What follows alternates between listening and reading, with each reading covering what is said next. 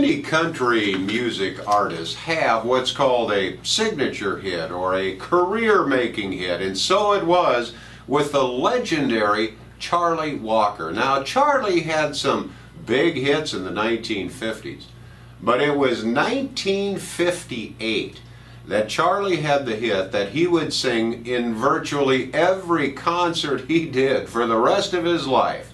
Because 1958 was the year of Pick Me Up on Your Way Down. A number one hit?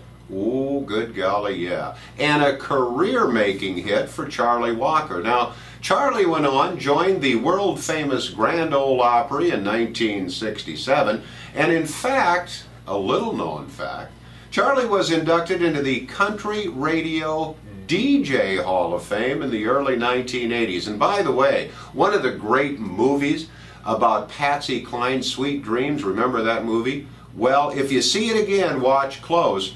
Charlie Walker has a small role in that movie. But 1958 was his year. Pick me up on your way down. So, whatever happened to country music legend Charlie Walker? Well, Charlie lived to be 81 years old and died in the year 2008. And boy, did Charlie Walker leave us with some great country music memories.